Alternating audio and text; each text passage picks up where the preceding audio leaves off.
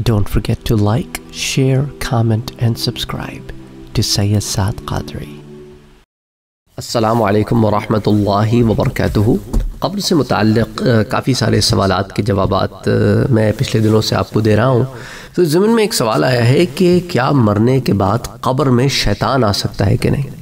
ملائکہ تو آتے ہیں، سوالات پوچھتے ہیں، ان کا جواب بندہ دیتا ہے تو کیا ایسے ہو سکتا ہے کہ شیطان قبر میں بھی آ کر پھر گمراہ کرنے کی کوشش کرے یا کسی سوال کا غلط جواب ہم کو سجھوانے کی کوشش کرے؟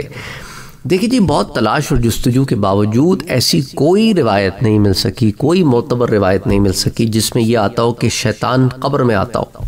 اب جب چونکہ روایت ہی نہیں مل سکی اور معتبر بھی نہیں ہے کسی قسم کی کوئی، تو اس سے ہم، اس قسم کا کوئی بھی عقیدہ رکھنا درست نہیں ہوگا کہ شیطان قبر میں آ کے گمراہ کرے گا۔ اور یاد رکھیں، قبر میں انسان جواب بنا نہیں سکے گا۔ وہ وہی جواب دے گا جو حق اور سچ ہوگا۔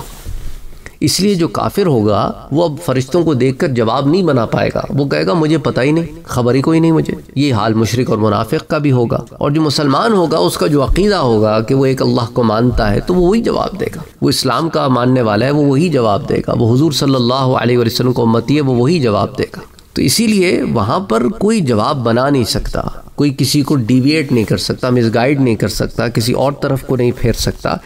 اس لیے وہاں شیطان کی انٹری یا نو انٹری اس پہ کوئی فرق نہیں پڑتا، کیونکہ وہ کچھ کر ہی نہیں سکتا۔ تو اسی لیے اگر کسی کے ذہن میں یہ سوال آتا بھی ہے تو اس کو آپ خارج کر دیں کہ اس پر کوئی روایت بھی موجود نہیں ہے اور یہ عقلاً بھی سمجھ میں نہیں آتا کہ اس کا وہاں آنا یا نہ آنا it's it just doesn't really make any difference Barat. Assalamu alaikum wa rahmatullahi wa barakatuh. Don't forget to like, share, comment, and subscribe to Sayyid Saad Qadri.